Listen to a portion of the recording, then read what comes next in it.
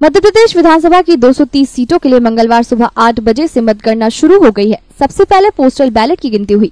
प्रदेश में मुख्य मुकाबला भाजपा और कांग्रेस के बीच है। फ़िलहाल कांग्रेस भाजपा से आगे चल रही है।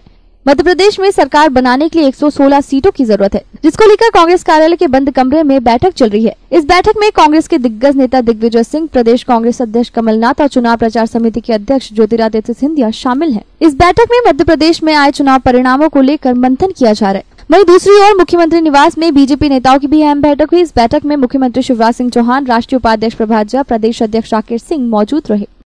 भोपाल से एम टीवी के लिए कैमरामैन दैनी खान के साथ राम पवार की रिपोर्ट।